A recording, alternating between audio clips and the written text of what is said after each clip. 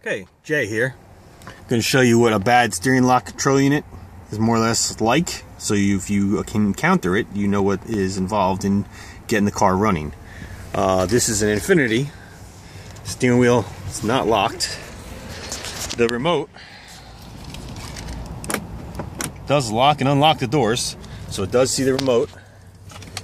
If you put the remote, I have the lower dash panel apart, just to show you. That's the steering wheel lock control unit. Okay. Here's the remote slot. I'm trying to do this one-handed. Okay.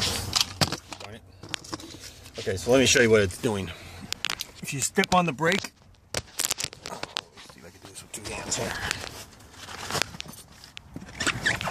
Okay, you step on the brake, hit the start button, you got nothing.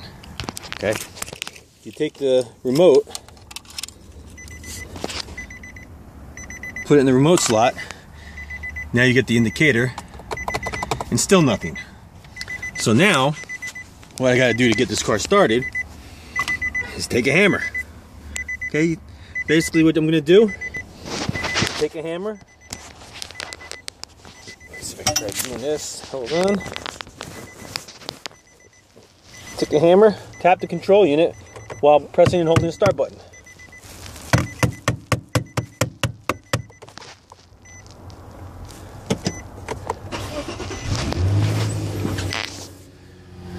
Now it starts.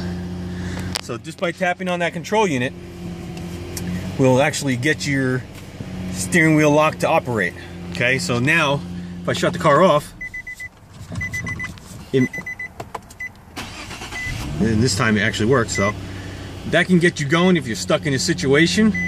On Nissans, they have a eight year unlimited mileage warranty for 09s with steering lock issues.